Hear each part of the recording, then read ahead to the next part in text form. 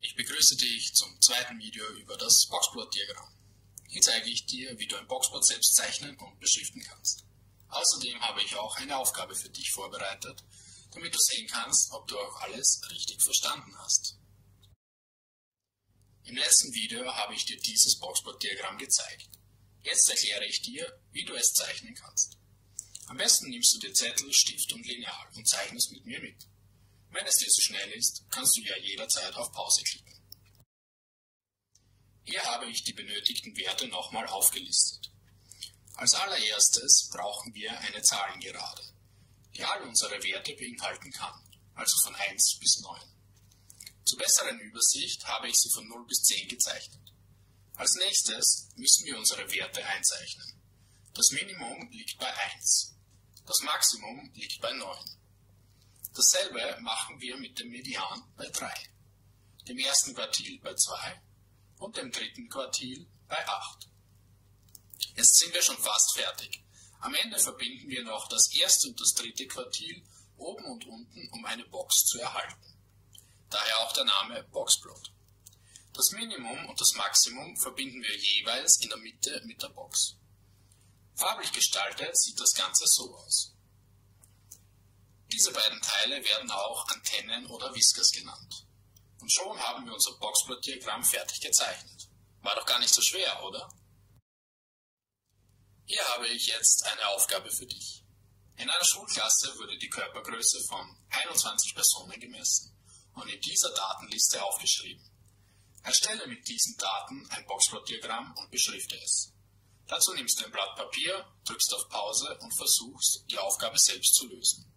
Wenn du fertig bist, lass das Video weiterlaufen und vergleiche dann dein Ergebnis mit meiner Lösung. Wie du schon aus dem Intro-Video weißt, müssen wir unsere Datenliste zuerst der Größe nach vom kleinsten zum größten Wert ordnen. Das sieht dann so aus. Jetzt können wir unsere benötigten Werte herauslesen. Wir starten mit dem Minimum und dem Maximum. In unserem Fall also 151 und 171. Als nächstes lesen wir den Median heraus. Dieser steht in der Mitte der geordneten Liste, also hier 161. Als letztes brauchen wir noch das erste und das dritte Quartil. Wir beginnen mit dem ersten Quartil, also dem Median der unteren Hälfte der geordneten Liste. Hier haben wir jetzt nicht nur einen, sondern zwei Werte, die in der Mitte stehen. Aus diesen zwei Werten bilden wir einfach den arithmetischen Mittelwert. Und schon haben wir unser erstes Quartil.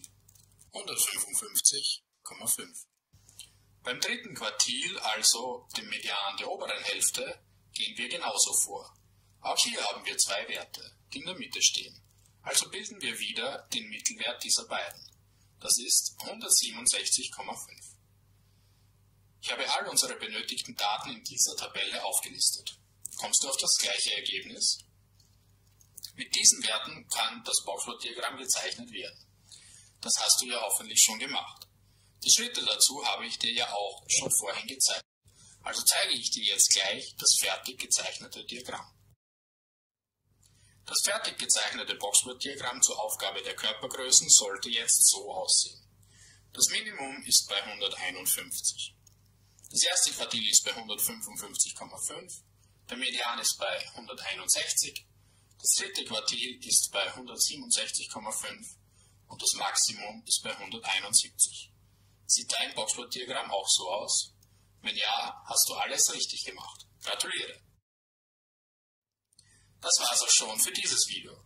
Du kannst nun selbstständig das Minimum, das erste und das dritte Quartil, den Median und das Maximum aus einer geordneten Liste herauslesen. Außerdem hast du gelernt, wie du damit ein Boxplot-Diagramm zeichnen und beschriften kannst.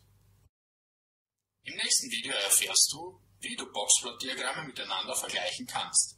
Also dann, bis zum nächsten Mal.